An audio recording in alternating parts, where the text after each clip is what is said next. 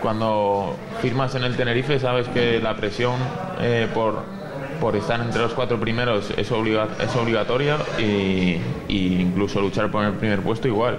Entonces eh, creo que eh, toda la plantilla está preparada para, para afrontar estos partidos que evidentemente que la presión aumenta. Tras el tropiezo ante la Roda, la plantilla sabe que no hay más opción que ganar este domingo en Vallecas para no despedirse de la lucha por el primer puesto.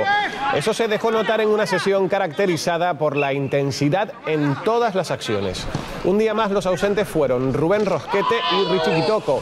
Continúa con su plan específico de recuperación.